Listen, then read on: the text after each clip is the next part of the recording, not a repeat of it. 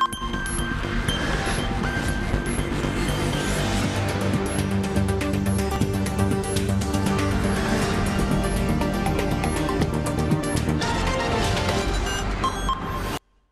Buon pomeriggio e ben trovati in questa prima edizione del TG6. In apertura parliamo eh, dei funerali che si sono svolti questa mattina eh, di Italo Delisa, il ventunenne eh, ragazzo di Vasto ucciso con tre colpi di eh, pistola da Fabio Di Lello. Migliaia le persone che hanno partecipato al rito funebre presso la Madonna del Sabato Santo di Vasto. La famiglia Di Lello ha voluto inviare una corona di fiori come gesto di pace in un un clima di rabbia che eh, continua a imperare purtroppo sulla rete. Il servizio di Francesca Romanatesti. È stato il giorno dell'ultimo saluto a Italo Delisa, il giovane ucciso con tre colpi di arma da fuoco da Fabio Di Lello, il marito della donna morta in un incidente stradale causato proprio da Delisa il luglio scorso. Un'intera comunità coinvolta in due gravi fatti di cronaca che hanno scosso tutti, le famiglie, gli amici e la cittadinanza. Sono tantissime le persone che hanno partecipato alla cerimonia presso la Madonna del Sabato Santo a Vasto, a poca distanza dal bar dove è stato commesso l'omicidio. Ad accogliere il feretro c'era una banda che ha accompagnato il suo ingresso in chiesa.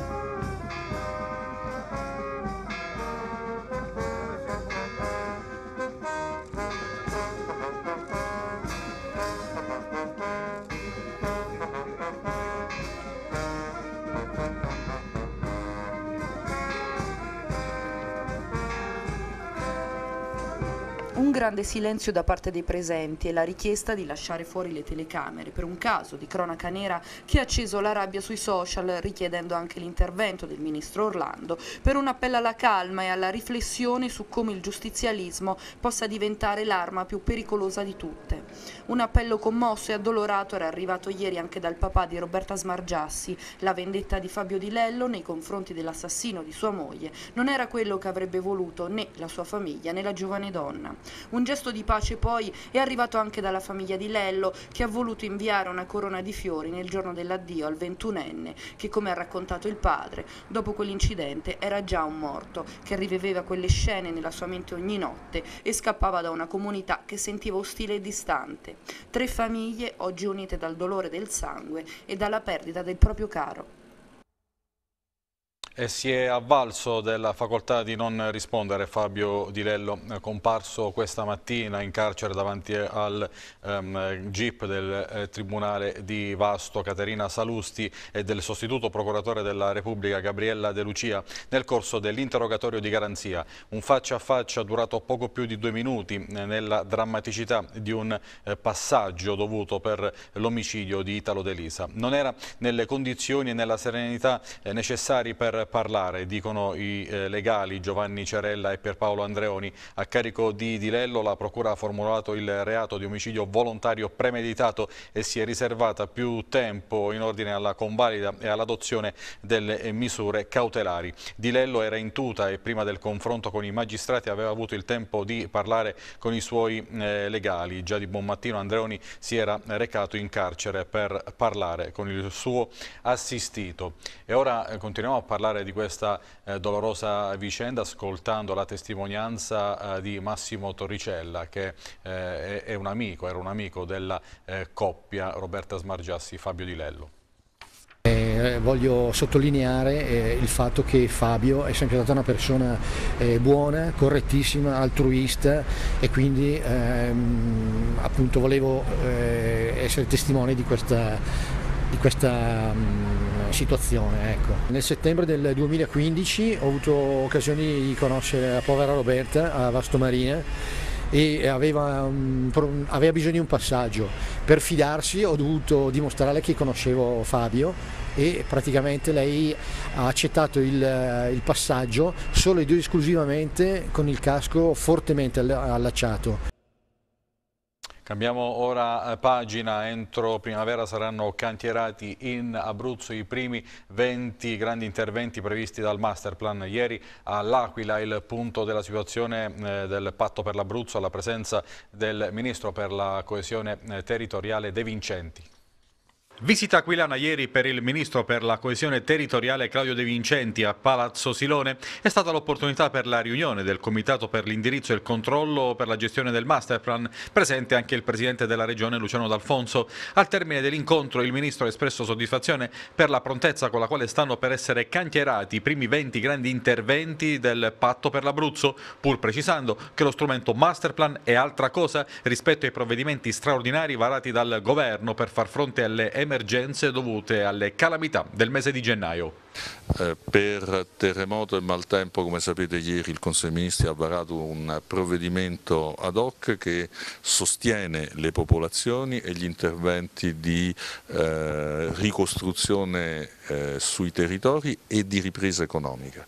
Eh, il patto per l'Abruzzo è molto importante perché definisce un quadro complessivo di interventi sia nelle zone che sono state colpite dagli eventi sismici e dall'emergenza neve, sia più complessivo su tutto l'Abruzzo che eh, aiuterà la ripresa economica e sociale di tutta la regione. Ricordo che la regione ha già avuto eh, già fatto registrare tassi di crescita più alti della media nazionale, dobbiamo continuare così, il patto per l'Abruzzo è lo strumento per ottenere questo risultato ed è uno strumento di speranza per tutti, anche per le popolazioni più colpite dagli eventi di queste settimane. Abbiamo eh, diversi interventi più di 20 interventi che eh, verranno cantierati in questi prossimi mesi, eh, diverse progettazioni molto avanzate con procedure ad evidenza pubblica che partiranno molto presto.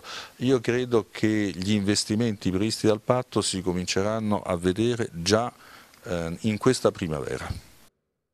Tutti i danni diretti e indiretti causati dal maltempo delle scorse settimane saranno risarciti tramite la delibera del Consiglio dei Ministri dello scorso 20 gennaio, lo puntualizza il Presidente della Regione Luciano D'Alfonso.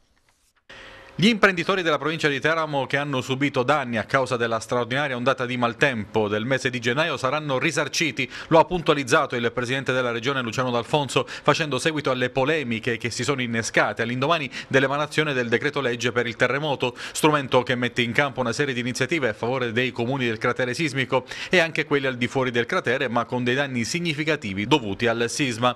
Per ottenere risarcimenti dai danni del maltempo però gli imprenditori ed esercenti attività della provincia provincia di Teramo e non solo, devono rifarsi alla delibera del Consiglio dei Ministri del 20 gennaio che riconosce per l'Abruzzo lo stato di emergenza nazionale. Noi abbiamo il decreto legge che si occupa di facilitare la ricostruzione nei comuni del cratere e anche nei comuni fuori cratere che hanno subito danni. Aumentiamo le risorse umane al servizio dei comuni del cratere per quanto riguarda il lavoro amministrativo necessario. Si rende pesante la busta paga di chi lavora nelle imprese del cratere. Si determina lo spostamento degli oneri fiscali e contributivi per le imprese che sono nel cratere. Per quanto concerne i danni da calamità, da avversità atmosferiche, c'è la delibera del Consiglio dei Ministri del 20 di gennaio che consente il riconoscimento di tutti i danni che si sono determinati in termini di causa-effetto con la nevicata e verranno coperti così come è già accaduto nel 2015. Quali danni sono oggetto di questa mia precisazione?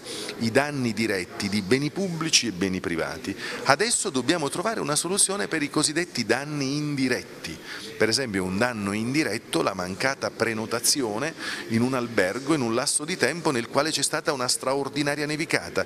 Questa è una condizione di danno indiretto che dobbiamo ancora fronteggiare. Tutti i danni diretti da nevicata oggettivamente dimostrati trovano copertura. Se Pepe, Monticelli e D'Alfonso non hanno nascosto la propria soddisfazione in riferimento alla delibera del Consiglio dei Ministri in cui la ricostruzione viene accelerata e verranno riconosciuti i danni diretti che abbiano rapporto di causa-effetto con il maltempo, vogliamo dedurre e sperare che l'entusiasmo derivi dall'aver ricevuto rassicurazioni in tal senso da parte dei loro referenti al governo. Se così non fosse, non solo questi toni trionfalistici sarebbero fuori luogo, ma la mancata considerazione della gravità degli effetti del maltempo sarebbe assolutamente assolutamente inaccettabile. Lo dichiara in una nota il sindaco di Atri, Gabriele Astolfi. Ritengo doveroso precisare che purtroppo l'emergenza neve non è affatto rientrata, dato che siamo alle prese con forti dissesti su strade comunali e provinciali che stanno mettendo in seria difficoltà viabilità, territori e famiglie. Anche il deputato di Forza Italia Fabrizio Di Stefano critica il decreto per l'emergenza Centro Italia eh, varato dal eh, governo eh, perché non includerebbe interventi a sostegno dei danni provocati dal maltempo e annuncia una guerra di emendamenti nella discussione per la conversione in legge. Intanto dal centro-sinistra Gianluca Fusilli, il parlamentare abruzzese Gianluca Fusilli ribatte gli interventi per il maltempo sono sono compresi, come abbiamo già ascoltato, nello stato di emergenza chiesto dalla Regione Abruzzo. Alfredo Primante. Il decreto varato due giorni fa dal governo a sostegno dell'emergenza che sta vivendo il centro Italia in soli due giorni ha provocato un vespaio di polemiche in Abruzzo, già perché in molti si aspettavano misure per il sostegno alla popolazione colpita a metà gennaio dall'eccezionale ondata di maltempo ed invece, almeno dalla bozza di decreto e dal comunicato stampa di Palazzo Chigi, ci sono solo interventi per il post-sisma e un ristoro per allevatori e agricoltori. Troppo poco, secondo il centrodestra, che con il deputato Fabrizio Di Stefano annuncia una valanga di emendamenti emendamenti all'atto del passaggio in Parlamento per la conversione in legge del decreto. Eh, poi assistiamo che il Presidente eh, si dice soddisfatto, io ricordo a me stesso che una delle sue proposte principali era la zona franca che non trova traccia, ma al di là della zona franca non si trova traccia del, del, di eh, interventi eh, a sostegno degli enti locali che hanno dovuto affrontare spese ingenti, se non l'emergenza, l'emergenza che era primo, quei primi 30 milioni di euro che avrebbero dovuto essere seguiti da un, dal decreto conseguenziale. Eh, credo che con 30 milioni eh, neanche Teramo o Chieti eh, riescono a coprire le, le spese che hanno, e i danni che hanno avuto. Di Stefano critica le dichiarazioni di D'Alfonso che si è detto soddisfatto delle misure governative ed invita il governo regionale e nazionale ad occuparsi in maniera stringente anche dei disservizi di Enel, Terna e Telecom al fine di ottenere rimborsi maggiorati rispetto a quanto previsto dalla legge. Eh, io voglio capire, ma su questo ci torneremo dopo che avremo capito il decreto, io voglio capire cosa fa il governo regionale e nazionale nei confronti di eh, queste eh, strutture che hanno avuto una carenza eh, dannosa per il tessuto sociale ed economico della nostra regione. Quindi qui occorre non eh, il risanamento, il risarcimento dei danni come previsti da bolletta da 603 mila euro, ma qui occorre un'azione decisamente molto più forte e molto più netta. Il centro-sinistra affida la replica all'onorevole Gianluca Fusilli. Nella nota il deputato chiarisce che i risarcimenti per i danni derivanti dal maltempo di gennaio sono stati inclusi nella delibera del Consiglio dei Ministri del 20 gennaio scorso, con la quale è stato dichiarato lo stato di emergenza, come già accaduto con l'emergenza maltempo del marzo 2015. Nella delibera sono stati riconosciuti tutti i danni diretti a cose pubbliche e private che abbiano un rapporto di causa-effetto con il maltempo.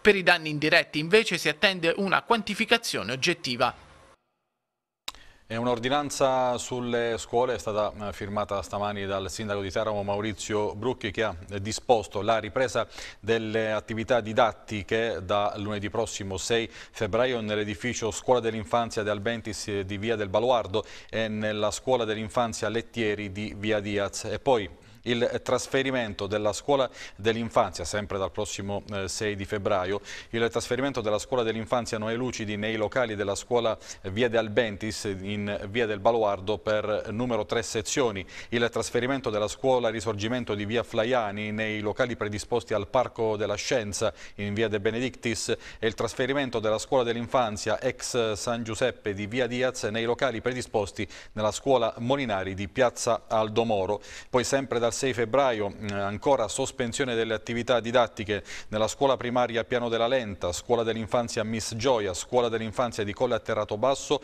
e scuola dell'infanzia Piano Daccio. E infine dal eh, 6 febbraio eh, c'è la prosecuzione della sospensione delle attività anche per gli asili nido Pinocchio eh, della Gammarana e Accademia Pollicino di Colle Atterrato Basso. Restiamo a Teramo perché l'aumento delle temperature sta determinando una serie di eventi franosi in ampie eh, zone eh, del eh, territorio della città a causa della grande quantità di neve che si è accumulata nei giorni scorsi. Il Comune stanziando fondi per somma urgenza ha dato il via a interventi nelle quattro zone di Coste Sant'Agostino, Mezzanotte, Rapino e San Pietro ad Lacum dove sono in corso interventi di eh, consolidamento e di risanamento idrogeologico e si sta ripetendo ripristinando la viabilità stradale. Poiché l'entità degli interventi potrebbe richiedere un impegno eh, economico di alcuni milioni di euro, il sindaco interesserà la regione Abruzzo e il eh, governo chiedendo espliciti finanziamenti in ragione dell'impegno assunto dallo stesso governatore di adoperarsi per fronteggiare il dissesto idrogeologico. Eh, del, dalla stessa regione è stata eh, comunicata la formalizzazione della copertura finanziaria per l'intervento in Coste Sant'Agostino eh, con un importo di 750 50.000 euro, un contributo per il quale si legge in una nota il sindaco Maurizio Brucchi ringrazia anche per la rapidità il governatore Luciano D'Alfonso. Eh, Mauro Febbo definisce uno scandalo eh, l'appalto per il servizio ristorazione alla ASL di Chieti. Eh, aggiudicato dopo 20 anni, adesso i lavoratori si trovano a fare i conti con una forte riduzione dell'orario di lavoro e del eh, salario. Febbo ha annunciato di voler portare la questione alla Commissione di Vigilanza regionale che peraltro eh, presiede. Approderà in Commissione Vigilanza della Regione Abruzzo la gara d'appalto per il servizio di ristorazione per i pazienti dei presidi ospedalieri della ASL numero 2, una gara che si attendeva da un ventennio vinta dalla RT Dusman Servizi Integrati che ha offerto un ribasso d'asta del 5,82%. La ditta appaltatrice ha spiegato il Presidente della Commissione di Vigilanza Mauro Febbo, così come prevedono le norme ha assolbito il personale che già lavorava per il servizio mensa, applicando consensualmente una prima riduzione degli orari di lavoro, ma nel mese di dicembre la stessa azienda ha inviato una raccomandata ai dipendenti comunicando unilateralmente il cambio del contratto di lavoro portato dal contratto nazionale turismo e commercio a quello delle imprese di pulizie, ma soprattutto, ha aggiunto Febbo, assieme ai consiglieri comunali e provinciali di Forza Italia, ha effettuato una drastica riduzione delle ore di lavoro settimanali da 20 a 7 per gli operatori della mensa, una situazione che Febbo definisce insopportabile insopportabile che secondo il centrodestra merita approfondimenti e riflessioni rispetto alle esternalizzazioni dei servizi ospedalieri. Magari eh, qualcuno doveva vigilare e capire perché eh, al massimo ribasso non si è andato a controllare questo ribasso, forse molti, un errore parte proprio da questo, da questo principio perché credo forse che non ci rientro come costi, se penso che i lavoratori, e parliamo di oh, una ottantina di lavoratori eh, che hanno visto prima un accordo intersindacale che si sono autoridotti ridotti eh, un, una parte diciamo, del, eh, dell'orario di lavoro. Oggi obbligatoriamente addirittura l'orario viene, viene, dimezzato anche di più, ci sono gli aiuti cuochi che da 20 ore settimanali passano a soli 7 ore settimanali, cioè un lavoratore che prima riusciva a percepire 7-750 euro al mese, oggi non arriva a 200 euro, non so come si possa vivere con 200 euro. Sempre secondo il centrodestra ci sarebbe una riduzione anche della qualità dei cibi serviti, a testimoniare questo ci sarebbe la riduzione da 430 pasti giornalieri forniti a 230-250. Così si dimostra, dicono i forzisti, che i pazienti rifiutano un pasto poco gradito proveniente dall'esterno e non in linea peraltro con la dieta sanitaria. Pasti che vengono prodotti a Pescara per essere distribuiti ai presidi di Pescara, Chieti, Guardiagrele e Torrevecchia. La cucina di Chieti infatti è stata chiusa in attesa di ristrutturazione. Anche qui, come mai da 450 pasti siamo scesi a 200 130 passi, vuol dire forse che i ricoverati non accettano quella, quella, quel servizio, hanno un rifiuto di quel servizio su questo farò eh, ampia, eh, un, ampia, luce, prima con una convocazione in commissione di vigilanza, ma soprattutto andando con dei tecnici a fare i sopralluoghi giornalieri. È il primo in Abruzzo, lo sportello SOS Anti-Equitalia inaugurato a Francavilla al Mare dal Movimento 5 Stelle. Sarà un punto d'ascolto regionale per i cittadini che hanno eh, dei problemi con le cartelle esattoriali. Uno sportello rivolto ai cittadini in difficoltà con le cartelle esattoriali di Equitalia e questo è l'obiettivo del primo punto civico di ascolto SOS Anti-Equitalia inaugurato a Francavilla dal gruppo del Movimento 5 Stelle. L'iniziativa è al momento l'unica in Regione Abruzzo e metterà a disposizione una serie di esperti, commercialisti, avvocati e psicologi che gratuitamente cercheranno di indirizzare verso la soluzione i problemi relativi alle cartelle. Noi abbiamo intenzione praticamente di assistere queste persone, dare consigli, informazioni eh, quelle prime nozioni che sono necessarie per cominciare ad affrontare la problematica. Poi chiaramente indirizzeremo nei, nei vari professionisti coloro che poi hanno bisogno di portare avanti la pratica, chiaramente non vogliamo strumentalizzare la, la, la questione, però eh, penso che in questo momento c'era bisogno di avere uno sportello come questo, aperto il mercoledì mattina dalle 8.30 alle 11, in un breve appuntamento, abbiamo una mail, insomma eh, le, le, troverete comunque anche pubblicizzate e in quella sede poi cominciamo ad affrontare con le persone la problematica, con la documentazione che ci porteranno e cominceremo a dare così eh, le prime, le prime, i primi ragguagli e le prime informazioni. Lo sportello fa seguito ad una lunga battaglia che il Movimento 5 Stelle conduce dal 2014 proprio contro Equitalia i grillini infatti più volte hanno invocato l'abolizione della società di riscossione presentando anche una proposta di legge in Parlamento destinata a trasferire le competenze attualmente in capo ad Equitalia alla Agenzia delle Entrate. Questo è il primo sportello, ma è uno sportello a valenza regionale. Io ringrazio il gruppo di Francavilla, capitanato da Livio Sarchese, dal nostro consigliere comunale, che sarà il responsabile di questo sportello. Ogni cittadino potrà richiedere aiuto, tutela. È una grande rivoluzione, è una delle, de, delle tante rivoluzioni che il Movimento 5 Stelle ha messo in piedi in questo Paese.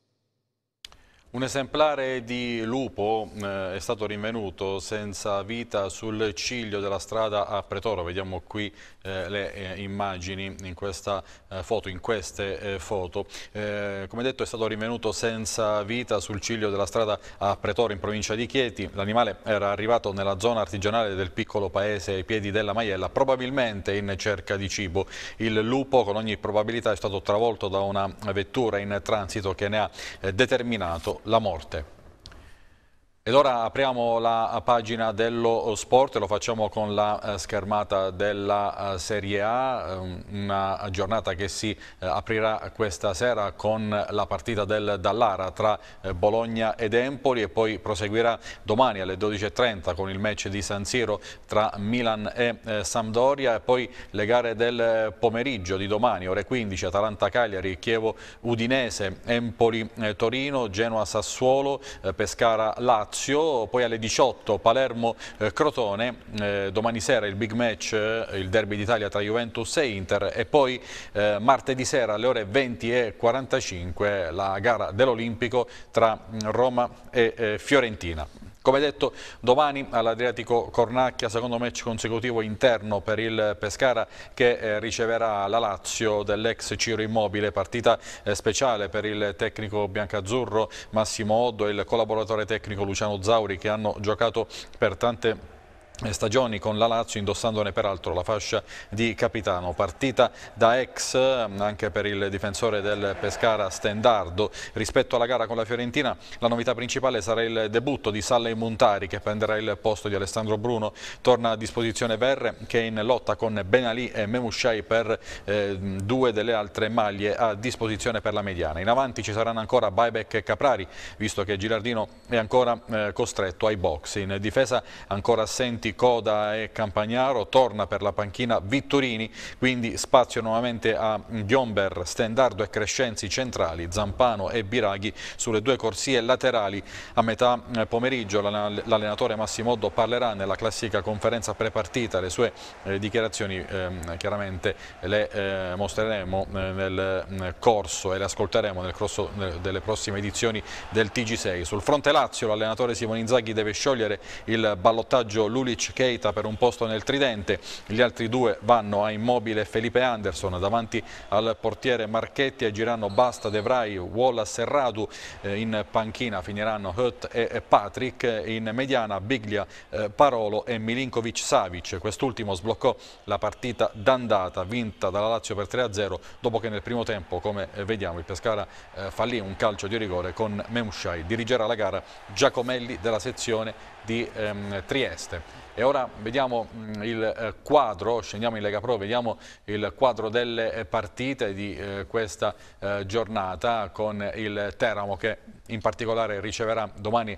alle 14.30 il Sant'Arcangelo, la gara si doveva giocare alle 18.30, poi ad inizio di mm, questa settimana c'è stato l'anticipo di orario. Le altre partite sono Bassano Lumezzane, Fano San Benedettese, Forlì sul Tirol, Gubbio Feral Pisalò, Maceratese Padova, Mantova Albino Torino Leffe, eh, Parma Pordenone, Reggiana Modena e Venezia Ancona. È stata diramata Poco fa la lista dei convocati eh, del Teramo, eh, manca il portiere eh, Branduani, c'è il portiere prelevato in settimana Narciso, dunque sarà lui domani a difendere i pali della porta del Teramo. Torna nella lista dei convocati Scipioni, manca il centrocampista Spighi, prima convocazione per l'attaccante Riccardo Barbuti che dovrebbe fare coppia con Sansovini al centro dell'attacco. Ascoltiamo come il tecnico Zauli presenta questa partita? Sogno la vittoria, no ma io Sant'Arcangelo è stata una parentesi piacevolissima, ho incontrato oltre ai risultati sportivi ho incontrato persone ottime dove ancora oggi ho un rapporto splendido, quindi quella è una parentesi calcistica che difficilmente dimenticherò. E adesso arriva questo, in questo momento dove per noi chiaramente è fondamentale, è fondamentale, cercare di fare la partita migliore possibile per portare a casa tre punti che ci permetterebbero di riagganciare tante squadre, di trovare autostima in noi stessi, di affrontare quelle successive 15 partite con una autorevolezza diversa perché oggi chiaramente veniamo dalle ultime tre partite dove abbiamo fatto veramente regali perché secondo me abbiamo buttato via veramente la possibilità di fare punti in maniera quasi grottesca e quindi abbiamo una grande voglia di riconquistare quello che abbiamo perso appunto in queste ultime tre partite. Sono arrivati tutti i ragazzi, è stato fatto un giusto mix di esperienza con tanta, tanti ragazzi anche più giovani che hanno voglia di, di di fare bene, di, di confermarsi, di, di migliorare la propria, proprio, la propria, carriera, quindi a oggi sono sicuramente contento, poi però è il campo che dà le risposte e quindi dovrà essere il sottoscritto, dovranno essere i nuovi giocatori, i vecchi giocatori a migliorare quello che fino ad oggi siamo stati. Eh, però io personalmente del mercato sono contento, anche se eh, chiaramente lo dovremo dimostrare. Io penso che questa squadra abbia ritrovato e abbia trovato col mercato una personalità diversa, quindi io sto allenando questa squadra e mai come mai, neanche nel mio primo periodo, eh, la sento, sento questa empatia tra me e la squadra. Poi so benissimo che se chiaramente i risultati non vengono, la società è liberissima di fare il bene, come ha fatto con i portieri, il bene per questa squadra. Ma io oggi sono serenissimo perché la cosa più importante che sento è l'empatia con i giocatori. È chiaro che tutti poi i risultati faranno la differenza e tutti noi vogliamo che venga questa grande vittoria di domenica, di domenica prossima, ma non tanto per la classifica, che è importantissima, ma soprattutto perché la squadra deve, deve credere nelle proprie potenzialità che ha. E scendiamo ora in Serie D, domani alle 14.30 si giocheranno le gare della quinta giornata di ritorno, il match di cartello è al Gran Sasso d'Italia Italo Acconcia dell'Aquila perché la squadra di Morgia riceverà una delle co-capoliste, ovvero eh, l'Arzachena che guida il eh, campionato a pari merito con il Monterosi. Trasferta sarda per l'Avezzano sul campo del Muravera, mentre invece nel girone F il Pineto cerca la continuità di risultati contro la Jesina, mentre la Brava, Stese e il San Nicolò giocheranno in trasferta e cercheranno la prima vittoria del 2017. I recuperi delle partite del girone G hanno restituito smalto e rinnovato le ambizioni delle due abruzzesi. L'Aquila doveva battere il Rieti e lo ha fatto. Il distacco dal primo posto sarebbe stato altrimenti difficile da colmare. Ora la squadra di Morgia sarà attesa da un altro scontro diretto, stavolta coi sardi dell'Arzachena, una delle due squadre capaci di battere in campionato i rossoblù. La posta in palio, anche in questo caso, è alta. Battere gli isolani, che ora condividono la vetta col Monterosi, vorrebbe dire vendicare la gara d'andata e completare l'aggancio in classifica. Mancheranno Bonvissuto, appiedato per quattro giornate, e Peluso, che purtroppo per l'Aquila dovrà stare fermo per un mese e mezzo. L'Avezzano invece vuole intraprendere la marcia verso il quinto posto, distante 5 lunghezze. La spinta arriva dalla vittoria sul San Sepolcro, che mette una pietra sopra il KO interno con l'Alba Longa di domenica scorsa. Da scacciare c'è l'incubo delle squadre sarde, visto che per i marsicani si profila la trasferta sul campo del Muravera, squadra impelagata in zona play-out ma che all'andata espugnò il De Marsti, dando il primo dispiacere alla squadra di Tortora mezz'ora. Assente lo squalificato Tabacco, punto fermo dell'attacco Padovani, tre gol nelle ultime tre partite. Nel girone F, tra sconfitte, recuperi e soste forzate, è stato un gennaio negativo quello di Vastese e San Nicolò, le due abruzzesi di alta classifica. Per il San Nicolò c'è uno snodo cruciale contro una rivale di vertice come la Vispesa o Albenelli. La squadra di Epifani, attesa anche dal recupero di Matelica, se vuole rientrare nella corsa primato non ha margini di errore e deve cercare di dimezzare da 12 a 6 punti di ritardo dalla capolista fermana, domani a riposo per il turno previsto col Chieti. Anche la Vastese è chiamata ad una pronta reazione, la vittoria manca dall'11 dicembre, in trasferta dal 20 novembre al Tubaldi, partita durissima contro una recanatese che sta dando forti segnali di ripresa. Chi vuole dare continuità invece agli ultimi risultati è il Pineto che è uscito fuori dalla zona play-out e domani avrà a disposizione il secondo match interno consecutivo contro la Jesina. Adriatici a caccia della terza vittoria consecutiva per allontanare la zona pericolosa e avvicinare il più tranquillo centro classifica. È tutto per questa prima edizione del TG6, vi rimando alle prossime delle ore 19 e delle ore 23. Grazie per l'attenzione e buon proseguimento di giornata.